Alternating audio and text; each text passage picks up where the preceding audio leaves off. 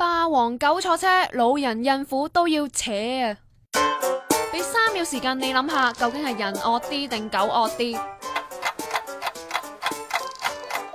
近日內地就接二連三住公車啲位，但乘客就冇位坐嘅事件。上個禮拜三，重慶又有一個廿幾歲嘅少女帶住狗上車，當時車上面有一個拎住好多嘢嘅婆婆想坐，佢竟然話係用緊隻狗留位俾個 friend。之後仲鬧翻個婆婆轉頭，好多網民都大嘆，真係人不如狗啊！